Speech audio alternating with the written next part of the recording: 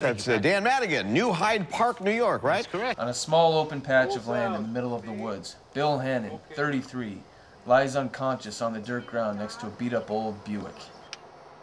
Set. Action. Damn that Madigan. New York. Madigan. Just call me Dan.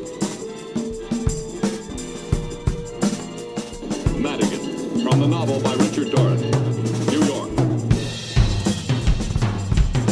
What the hell do you care about Dan Madigan? What the hell do you care about Dan Madigan? New York. Henry Fonda, police commissioner in the world's toughest city. Richard Widmark is Madigan, detective lieutenant.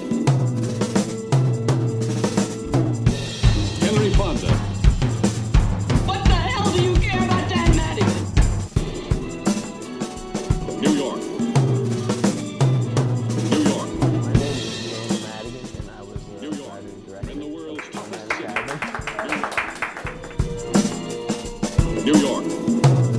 Damn that Madigan. New York. New York. What the hell do you care about Dan Madigan? That's Stan. He's got he has drive and he has a great personality. And I mean, we were up, you know, in the middle of the night, and he was just like, you know, he was keeping it, keeping it going, and we didn't we didn't lose our minds. We didn't, they weren't too far. You're uh, the movie guy, huh? I'm a big movie guy. I went to film school, did the whole nine yards. Yeah. I'm, uh, right now, I just kind of, you know, struggling. Uh, what are you hoping to do? Uh, write and direct. Yeah, well, writer hope- director. I hope all that works out Yeah, for you. yeah.